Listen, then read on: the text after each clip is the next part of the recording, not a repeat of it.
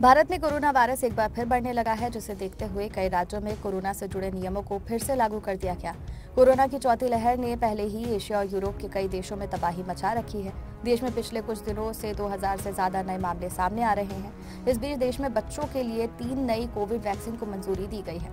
भारत के औषधि महानियंत्रक ने विभिन्न आयु वर्ग के बच्चों के लिए तीन कोविड टीकों को मंजूरी दी है। इसमें छह से 12 वर्ष की आयु के बच्चों के लिए भारत बायोटेक की कोवैक्सीन 5 से 12 वर्ष आयु वर्ग के बच्चों के लिए बायोलॉजिकल ई की कार्बोवैक्स और 12 से ऊपर के आयु वर्ग के लिए साइकोव डी की वैक्सीन को इमरजेंसी इस्तेमाल के लिए मंजूरी दी गई।